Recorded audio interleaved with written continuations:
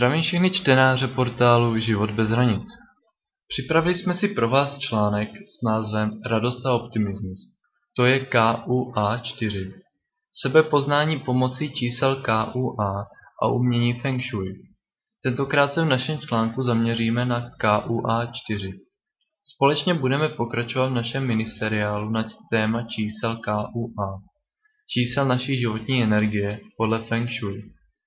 Více o KUA se dočtete v našem článku na webu. Odkaz na článek naleznete pod tímhle videem. Hezký den.